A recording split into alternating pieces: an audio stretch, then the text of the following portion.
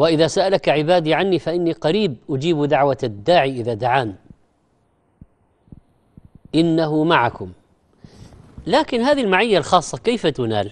كيف نكون من أصحاب المعية الخاصة الذين يكون الله معهم بنصرته وتوفيقه؟ اولا الإيمان الصادق اليقين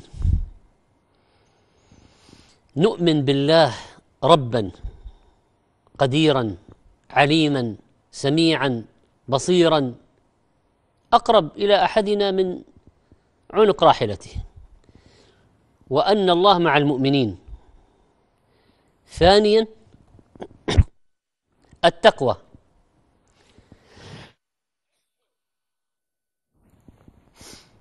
واعلموا أن الله مع المتقين.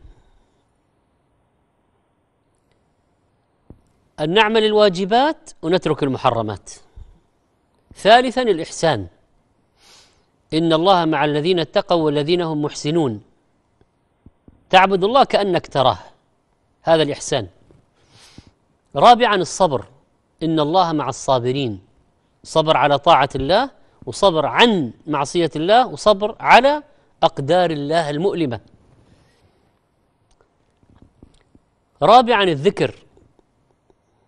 يقول الله في الحديث القدسي أنا عند ظن عبدي بي وأنا معه إذا ذكرني. كلما ذكرته كان معك. ومن أيقن بمعية الله راقب في الخلوة والجلوة. والمؤمن الأمين يخشى الله في السر والعلانية.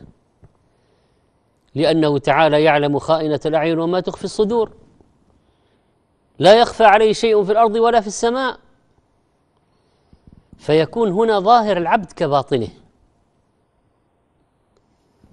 قال عبد الله بن دينار تلميذ ابن عمر خرجت مع ابن عمر إلى مكة فاسترحنا في الطريق فانحدر علينا راع من جبل فقال له ابن عمر أراع؟ قال نعم. قال بعني شاة من الغنم. قال إني مملوك يعني أنا وغنمي ملك لسيدي. فقال يختبره. قل لسيدك أكلها الذئب. قال الراعي فأين الله عز وجل؟ قال ابن عمر فأين الله؟ ثم بكى فأعتق واشترى الغنم ووهبها له وقال كلمتك نفعتك في الدنيا أرجو أن تنفعك عند الله يوم القيامة. من أيقن بمعية الله خافه ورجاه من أيقن بمعيه الله توكل عليه واحتمى بجنابه. يقول هود لقومه فكيدوني جميعا ثم لا تنظرون إني توكلت على الله ربي وربكم. من أيقن بمعية الله توجه إليه ودعاه. اللهم أنت الصاحب في السفر بالعناية والحفظ والرعاية والخليفة في الأهل تحفظ علي أهلي في غيابي ترعاهم. من أيقن بمعية الله أنس بالله. الذين آمنوا وتطمئن قلوبهم بذكر الله ألا بذكر الله تطمئن القلوب؟ ينبغي أن نربي أولادنا على معنى استحضار معية الله.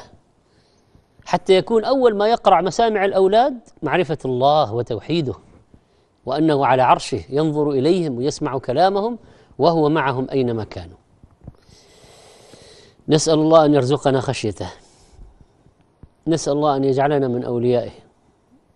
نسأل الله أن يتوب علينا.